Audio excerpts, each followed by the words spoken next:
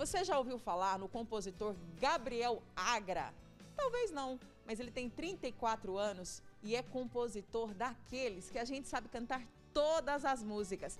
Só com a Marília Mendonça foram mais de 100 músicas. Mas ó, tem também com Maiara e Maraísa, saca só os 10%.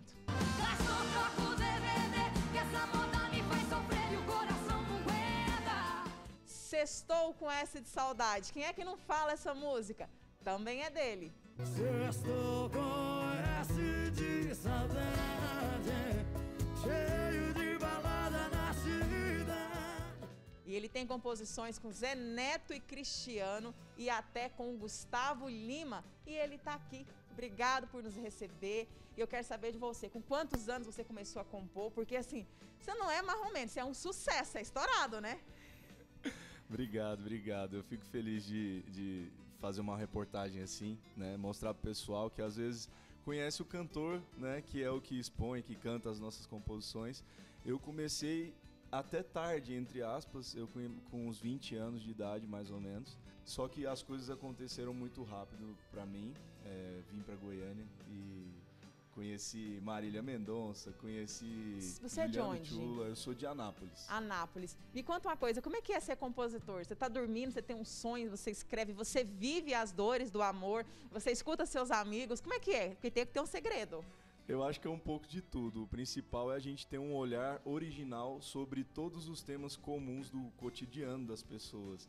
Então, sai tomando banho, sai acordando na madrugada, sai durante um dia no churrasco com os amigos, sentando mesmo com os parceiros de composição e pensando em histórias, mas tem história real, tem história inventada, tem de tudo. Os compositores vêm crescendo a cada ano, a gente sabe disso, mas lá no passado, não muito distante, um dos grandes compositores era o Zezé de Camargo, não era? E ele dizia assim que ele dormia com um caderninho lado da cama e a caneta, para caso surgisse um ensaio de um sonho, ia lá e escrevia. Isso é real?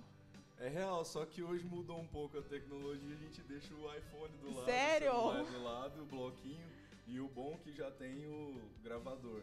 Só que tem dia que a gente acorda meio, né? Aquela voz de sono e você canta uma melodia Aí, e a voz de vai sono... escutar no outro dia não entende nada. Loucura. E me conta, Marília Mendonça, mais de 100 composições, mas é muita coisa. Quais são as principais músicas que você gravou com ela? A gente, no início da carreira, juntamos eu, a Marília e o Chula. E a gente fez. Eu fui o seu refém nesse crime perfeito. Eu fui o seu refém nesse crime perfeito. Levou o que era meu, você não tem direito de me amar e fugir agora. Amar eu amo muito, prestar que eu presto pouco. Amar eu amo muito, prestar que eu presto pouco.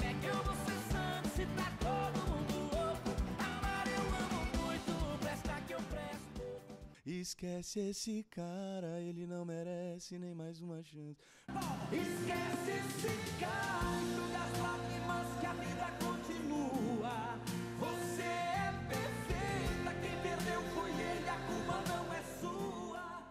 Neto Frederico gravou várias músicas. É, recentemente, né, no último projeto da Marília, Todos os Cantos, faltou coragem pra dizer que não. Baby, liguei, parei no seu colchão. Faltou coragem pra dizer que não. Baby, liguei, parei no seu colchão. Chego apaixonado e saio arrependido. Amar mudança me dá prejuízo. é, Baby Liguei, a gente teve uma parceria muito linda, assim, é que eu posso me orgulhar e dizer que foi muito incrível. E vem cá, você está chegando a 5 bilhões de visualizações, assim. Como explicar isso?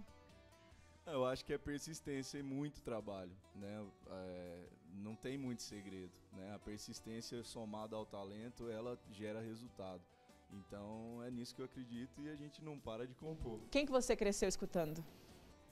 Nossa, as minhas referências são do internacional, desde Phil Collins, Bee Gees, é, Simple Red, até o gospel e até os sertanejos mais raízes, assim, de Tião Carreira e Pardinho, até Jorge Mateus e de tudo, assim mesmo. É muito, muito, muito variado. Estava me dizendo que a Marília Mendonça foi contratada pela empresa, né, com a qual ela ainda pertence, os direitos, enfim, com 12 anos. E ela só compunha, ela não cantava. Você começou cantando, até então não deu certo, mas você se destacou na composição. Será que lá na frente muda? Porque com a Marília mudou, né? Eu resolvi focar na composição porque sempre deu muito resultado. Tive algumas conversas para ser se- eu sou segunda voz, para ser segunda voz de outras duplas, mas eu resolvi escolher a composição e revelar novos talentos. Inclusive eu tenho uma cantora recentemente que eu assinei o contrato e sou empresário e nós estamos fazendo trabalho com ela. Ah, inclusive você está com um projeto agora de ajudar novos compositores. Como é que é isso? Exatamente, o Toca Music, que é um projeto, é um canal no YouTube para o pessoal acessar e conhecer novos talentos. É uma vitrine digital de talentos que a gente pega as nossas composições feitas na Toca do Agra e grava no- nesse projeto para novos artistas serem conhecidos pela galera. Alguém lá em casa escreve muito bem e tem uma música para passar para você, porque ele tem certeza que essa música vai ser um sucesso. Como é que ele faz para chegar até você? Ó, ele pode entrar em contato com a gente no Instagram da Toca do Agra e a gente vai avaliar isso, né? Eu tenho uma equipe para avaliar, escutar essas composições. Qual foi a música sua que você falou assim, essa não vai dar em nada, o pessoal não gostou e é um sucesso hoje? Foi inclusive a minha primeira música que tocou no rádio no Brasil inteiro. Foi uma música que eu fiz para minha namorada, eu não ia mostrar para ninguém, que foi a clichê. Você é o primeiro pensamento do meu dia, se eu não te vejo quase morro de E agonia. bota o clipe em edição, vai ficar maravilhoso. A noite cai, o meu sonho é você. Dizer te amo já tá virando clichê. Mas eu tô repetindo pra você saber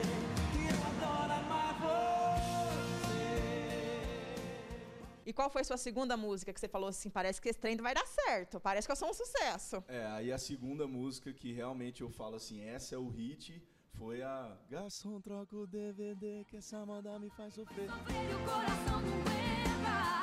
Desse jeito você me desmonta. Cada dose cai na conta e os 10% aumenta. E recentemente a gente tem exemplos como Sextou com S de saudade, Sextou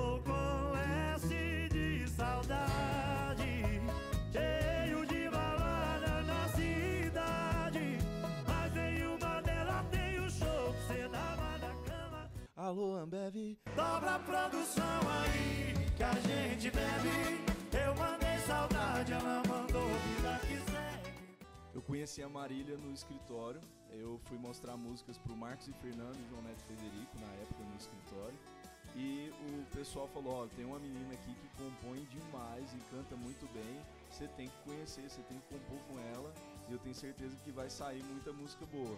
E aí quando eu encontrei a Marília, eu falei, meu Deus, que talento, que fenômeno, que coisa surreal, incrível. E vocês viraram bem amigos, né?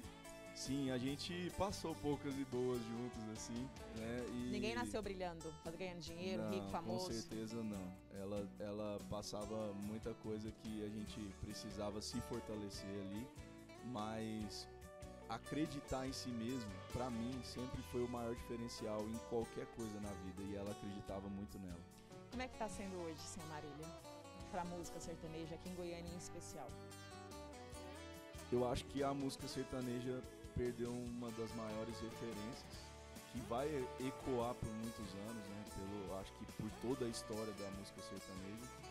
É, mas é, falando mesmo de mercado sertanejo, eu acho que hoje existe um lugar ou lugares que ela deixou que dificilmente vão ser ocupados. E o bom do artista é que o artista ele é imortal, né? A música vai prevalecer pra sempre. Esse é o famoso legado, né? E a Marília deixou um legado maravilhoso para todas as mulheres, né? Não aceitem relacionamentos que te fazem mal. Não aceitem relacionamentos que não somam na sua vida. Se imponha e seja uma mulher diferenciada, que é o que ela mais né, tentou e fez acontecer nas suas músicas. E o que, que você vai guardar dela pra sempre? Eu acho que o jeito simples, que mesmo depois da fama e de tudo, aquele sorriso, aquela simplicidade, é, o olhar no- nos olhos das pessoas, enxergar pessoas como realmente pessoas com muito amor e carinho. E aquela cena da última foto dela com aquela roupa xadrez, é, com violão na mão, é a cena que eu vou sempre lembrar, né? Marília e música inseparáveis. Gabriel, muito obrigada por nos receber aqui. Foi uma honra, um prazer conhecer um pouco mais da sua história, né? Porque hoje em dia fica bem claro que não existe só o cantor, existem também os compositores. Quero agradecer por essa abertura, acho muito importante nós falarmos sobre a composição os compositores e agradecer a cada um de vocês pelo carinho com a música sertaneja.